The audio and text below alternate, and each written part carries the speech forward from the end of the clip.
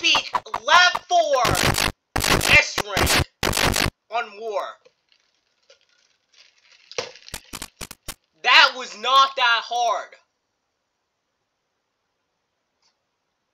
Honestly, that took me a while. If you're wondering what will happen if I P rank this, well, I'm not gonna P rank this because I I ain't doing that again.